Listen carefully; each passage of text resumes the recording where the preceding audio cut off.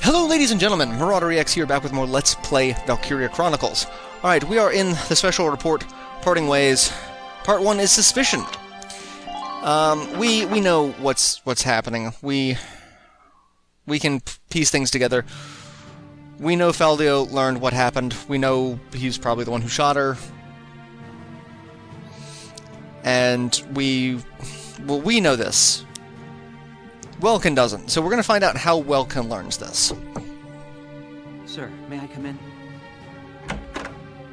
Grease, any results on that thing I asked you to look into? Yes, sir. For starters, this bullet you gave me. Its shape and markings perfectly match rounds used by an experimental Gallian sniper rifle.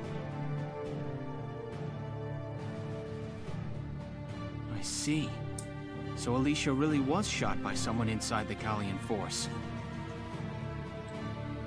So, any leads on who fired it? Yes, sir. It... Tell me, Grease. The night before the shooting, records show Lieutenant Landzaat checked out the rifle. What? Faldio had the gun? Are you sure that's not some mistake? It's rare for a tank commander to ask for a sniper rifle, so the clerk remembered him. Sir, only two of those rifles exist right now. One is confirmed to be locked in the arsenal. The other was checked out to Lieutenant Landzaat and has yet to be returned. I can't. It's hard for me to believe, too. Faldio? It couldn't be. So we've learned how it came about. Faldio checked out a sniper rifle, which yeah, I can see that. Uh, it's like it's rare for a tank commander to check out a sniper rifle. Really? Because I'm going to be sniping from the top of my tank. So, next part is the truth. Not that we don't know what the truth is at this point. It's. I mean, several people called it. So. Hey, Faldio. You in? Guess not.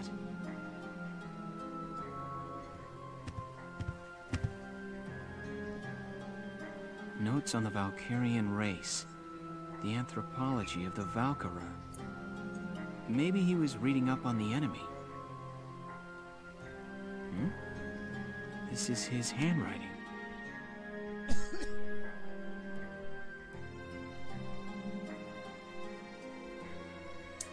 Alicia must be made to awaken. What? Alicia must be made to awaken. No matter how much I try, I can think of no other way. I almost wish I had never joined them on that expedition to the Barious ruins. I'm convinced that the inner chamber was built to admit only Valkyra. The door opened at her touch. That could only mean that the blood of their tribe courses through her veins. Still, I was shocked to find her bathed in that uncanny light that night in the field.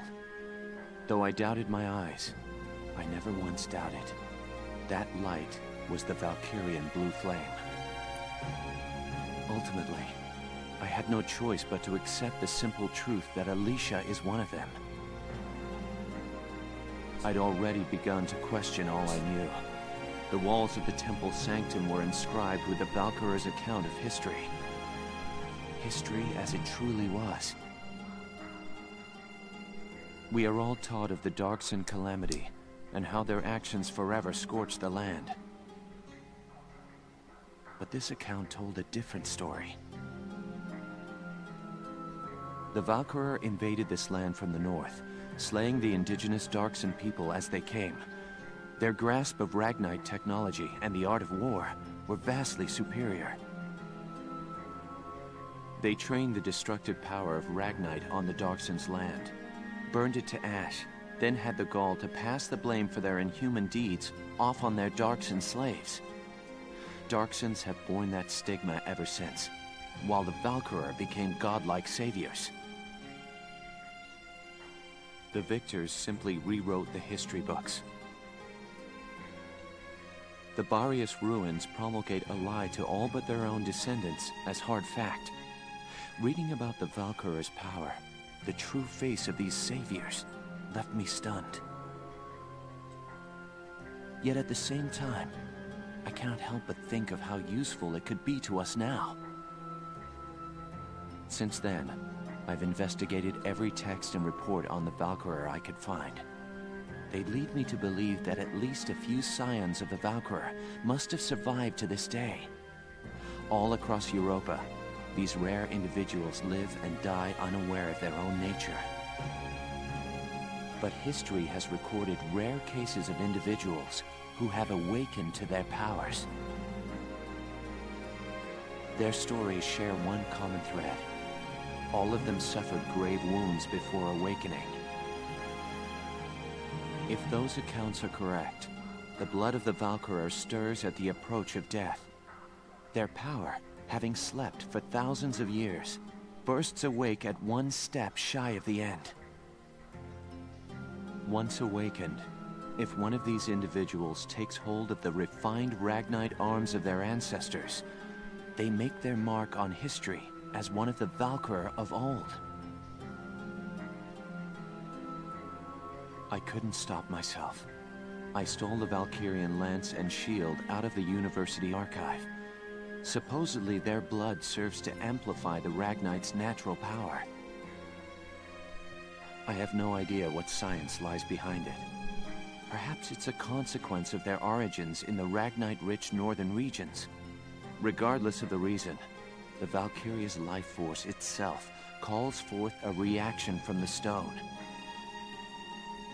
The enemy Valkyria decimated our forces on the Naggiar plains. I could not afford to stay my hand on account of ethics. I had the rifle, and I forced myself to use it. I shot her. I placed the lance and shield on her unconscious form. I was racked with insecurity and guilt, hands red with blood of my best friend's love. But now I know. The choice I made was right. Faldio! And Welkin loses his shit. Uh, not not unexpected. I mean, you find out your best friend killed your would-be or tried to kill your would-be girlfriend. Yeah. Hello, Lieutenant Gunther. Is something wrong?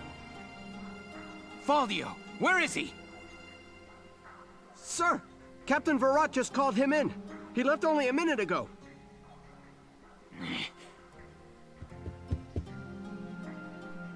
So yeah, that's. I mean, Faldio wrote his report, and the fact that we learned the truth about the Valkyria, that they were not in fact saviors, they are terrible, terrible human beings, uh, and that uh, history is written by the victors, is no, you know, no more pronounced than this. That's that is the definition. It's like you you have an entire world believing this this lie because you were the the winner, and the loser has not enough uh, credibility to to you know to clear their own name. So everyone believes the Darcsens were you know some terrible, but no, it's it's the Valkyria that everyone you know heralds as a. Ah, that that's that's the sort of thing that just bothers me about history is it is written by the victors. So the last bit, confrontation. So I have a feeling uh, Welkin is going to give Faldio a very big piece of his mind.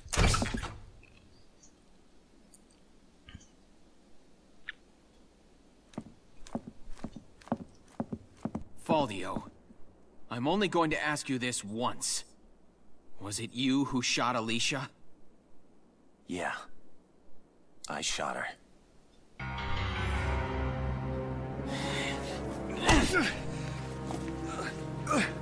Tell me why.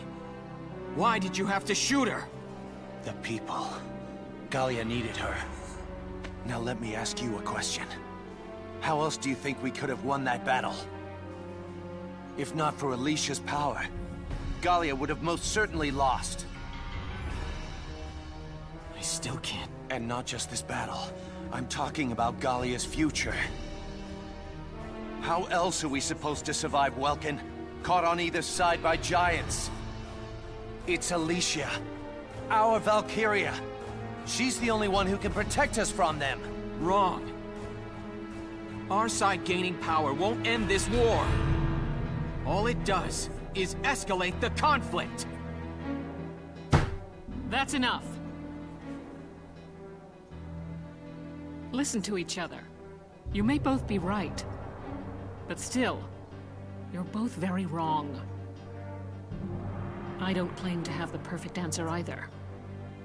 However, regardless of the reason, attacking one of your own comrades is deplorable.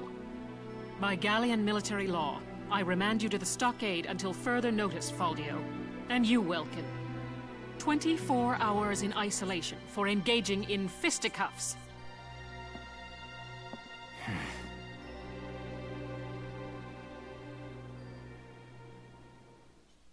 I love that. Fisticuffs. Engaging in fisticuffs. Oh, Chapter 15 Citadel Ghirlandaio. Citadel Ghirlandaio. Uh, new episode has been added. Personnel tab is upgraded. Weaponry tab, glossary. New skirmish battle's been added. Alright, let's go take a look at some of this before we start this chapter. Um, because there's going to be a lot to it. Uh, what is the skirmish battle that we've got open to us? Uh, Windmill Plaza. Okay, so we can redo that skirmish battle to take back, um, uh, Bruhl. So that's good. I have not done the Cloden Wildwood or Upper Fousen at all.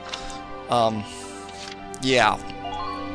Not really worthwhile for me, I'm just gonna say. So, we're gonna return to headquarters, and we're going to see what we can deal with upgrade-wise. Um, go to the R&D facility, because we got a ton of money. Alright. Let's see, what do we got? Let's just go ahead and upgrade everything we can. And... Added effect. We're not going to do that. But I like having the option. I'm never going to use any of these, but I like having the option. Uh, I, I mostly go for accuracy, because as we've seen, accuracy is really kind of the biggest thing that we need to, to focus on.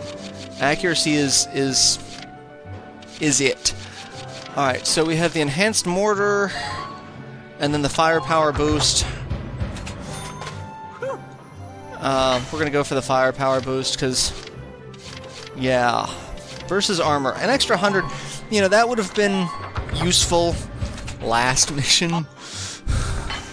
Uh Alright, what do we got for sniper rifles? Anything? Nothing for sniper rifles. Anything for flamethrowers? Added effect. Oh, damn, I am out of money.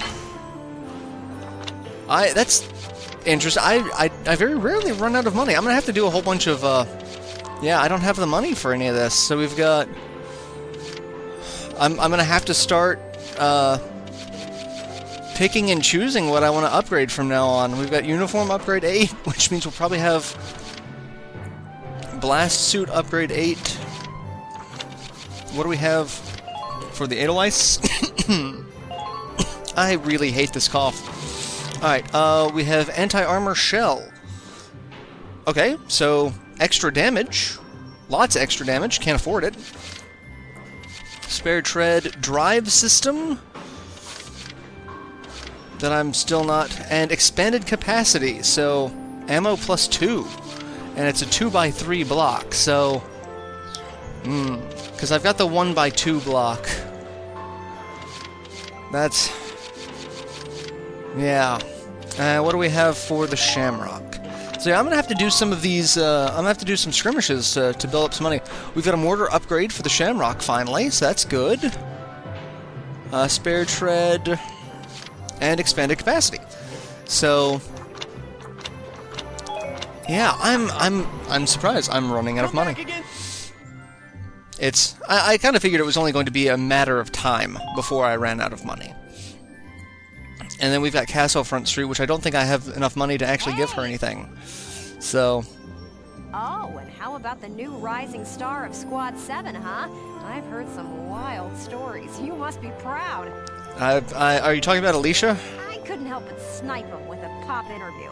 You'll have to read it once I get it all drafted up. Okay. Alright, so Clash at Naggiar co- concludes, refugee issue crosses borders, Da da da got new material. Alright, so holy crap, yes. Signs of Awakening, What Lies Beyond Hate, Flower of the Battlefield. That piece is on Welkin, piece is on Captain Varrot, that piece is on Alicia. We want that one. Because that will actually give Alicia um, a potential. Uh, we'll have to read it, but Come back and see the right. that, yeah, that'll give. And let's check out the War Cemetery and see if the aged veteran is able to teach us anything new. Hello. I'm Nope. sorry, but I can think of no orders to teach you. My mem. I hope we'll meet. I think I don't think we've learned all of the orders we can from him. I think we're still missing a couple. All right, let's go to the audience hall and see what we get from the princess.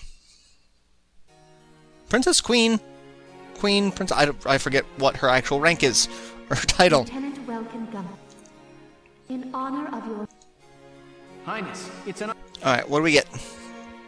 Oh, hey! Magyar, and that's, I love how it has Magyar written on it, and it's got the little trenches. All right, so we get a royal award. You, A machine gun. What is this? Mag's M3R. Oh, hey! A new lance. Lancer M3R. Alright, let's go equip those, and that'll be the end of this episode, and then we'll start the next bit. Um, I I may I may do some uh, some skirmish off screen to make sure I get everything taken care of. All right, so it's the Mags M3R is the new one that we got, and then we got the ZM. It's like it's got crap aim, but just slightly higher damage. But uh, actually, it's got the same aim, just crap range. So yeah, we're not going to deal with that. Uh, we will go ahead and give, uh, we'll give Jane, give Jane one, and we'll give Edie one, and we'll give Salinas one. And we're good. And we got Alex. I don't know if uh, that does more damage versus armor. But, eh, it's fine. It's fine. Alright, and then Largo, we got... Oh, that's right, it does... It's like, I've got... It does 1300 damage to armor. But it's got better aim. That I probably should have used that, but does less damage. That's why I haven't used that because it's like 200 damage lower. Better range, better aim. That probably would have helped out in the last fight, don't you agree? Yeah. Yeah. But, no. Alright, so that should be everything. Yeah, so, um... I will exit the barracks, and uh, I'll go ahead and, I said, I'll end this episode here, and we will start the next chapter, uh, chapter 15. New report, personnel, more updates. So yeah, um, see you guys in the next installment. So till then, later everyone.